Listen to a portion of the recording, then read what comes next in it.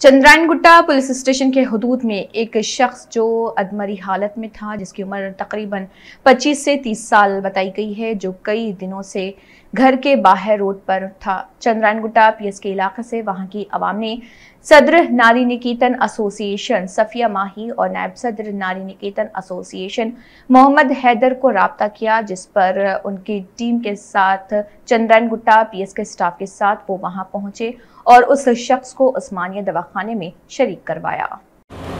अस्सलाम वालेकुम, रहमतुल्लाहि वरकत मैं social worker Safiya Mahi, NGO Nari Niketan association president. आज हम लोग को चंद्रायन गुट्टा चौरस्ते के पास से कॉल आया कि एक बंदा बहुत बुरी हालत में चार दिन से यहाँ रोड पर पड़ा हुआ है, रूबी होटल के अपोजिट। और हम लोग जहाँ के वहाँ देखने के बाद बहुत अफसोस हुआ कि इंसान जानवर से बदतर हालत में, कचरे कुंडियों में वो ये पड़े हुए रह रहे और जो भी हमको देख रहे हैं, उन सबसे हम बार बार गुजारिश कर रहे हैं। कभी भी अपने ऐसा कोई इंसान दिखे तो प्लीज़ उन लोग को आप शेल्टर नहीं दे सकते तो उठा के उनके हाल चाल जानिए या फिर किसी और को बुला के उनके मदद कराइए। अभी हम लोग Chandrayangutta P S Varma sir को कॉल करें, हमारी एक रिंग हमारे टीम के सोशल वर्कर हैदर मेमन के एक रिंग जाते, वर्मा साहब रिस्पांस दिया और उनके हम बहुत शुक्रगुजार है।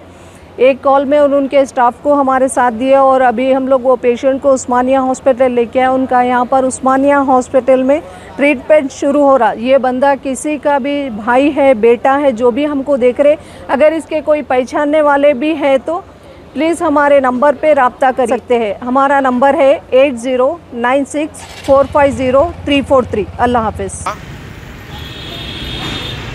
नाम क्या आपका? जावेद है कहाँ पे रहते आप? कहाँ पे रहते? गाँव में रहते।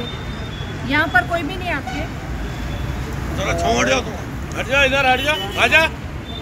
यहाँ पे कोई भी नहीं आपके कहाँ पे रहते? फ़ोन नंबर याद है उनका? नंबर बोलो। एक second. Nine two, nine three, eight four, one zero one zero nine eight. क्या काम करते थे आप? नंबर सही बोलो ज़रा। Nine two, nine three, eight four one zero nine eight